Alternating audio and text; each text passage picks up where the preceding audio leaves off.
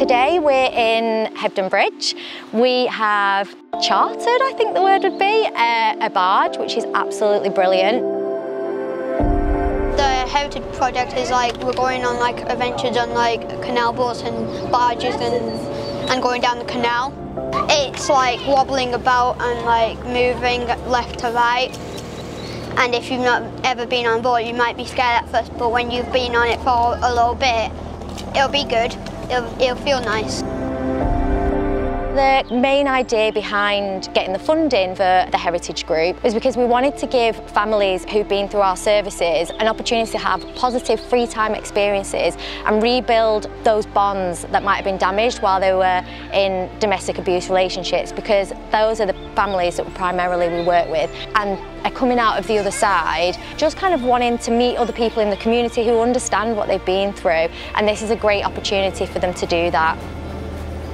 Part of the project was to include a lot of different activities, all really based around the Rochdale Canal and the history of Rochdale to allow people who live here to have pride in the local area. So we've been really, really lucky to do loads of great activities.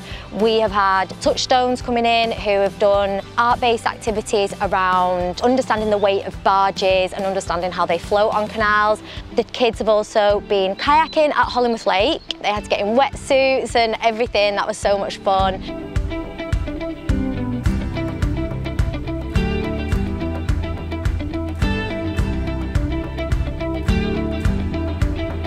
You watch the water start gushing in there now. We at the Canal and River Trust have a saying, well-being by water. It's a whole different experience. If people have mental health issues, it's one of the most fantastic places that you could actually get out, meet people, out in the environment, fresh air, fantastic.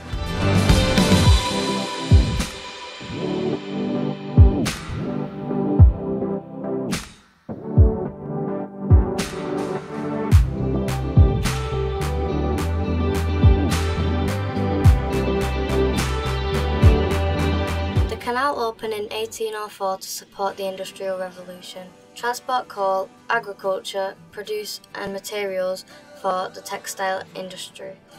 Large pack horses were able to pull between 30 to 50 times more coal or iron on water than on land. Seven reservoirs were built especially to service the line, including Hollingworth Lake, which became a popular tourist destination. By the early 1900s, the decline in traditional industries and the effect of road buildway took its toll. The canal fell into disrepair in the 1950s, but plans to restore and reopen the canal began, led by the British Waterways and the Rochdale Canal Society.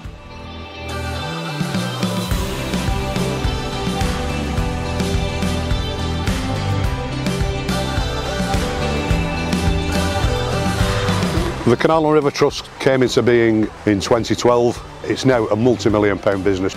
We get boaters coming through from all walks of life. You do get people from other countries where they may not have networks of canals like we have and they, they think this rolling hills here and countryside is absolutely out of this world. Just through that bridge behind me we've got a site of special scientific interest which runs all the way from under that bridge right through to Failsworth at the other side of Oldham and there are all sorts of rare plants and wildlife.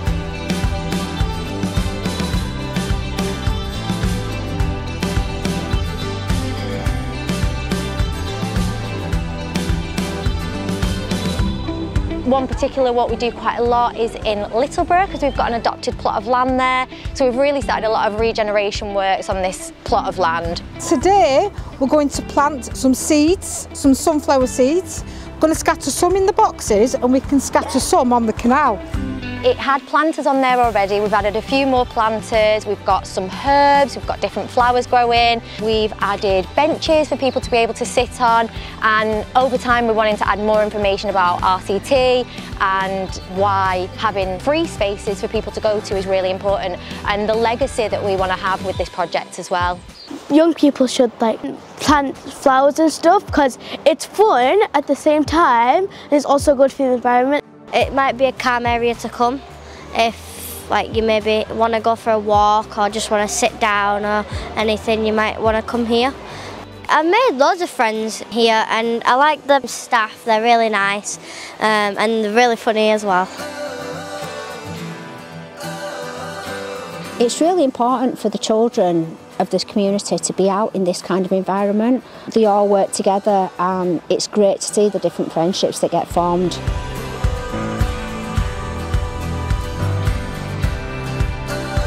This heritage programme that we do here has been a great way to connect really with my family. I've found it really, really um, insightful, educational. We really have, as a family unit, become closer because of this programme.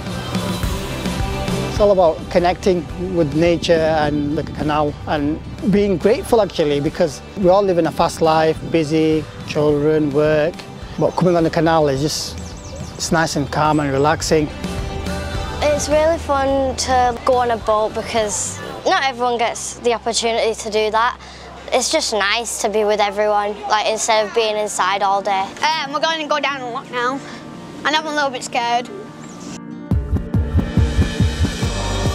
I found being on this project, getting together with the family and other people as well was really educational and learning new things from each other as well. It weren't just from RCT, it was from the other families, the other kids. And it's nice to see the look on the children's faces as well when we do go out and we do the new stuff.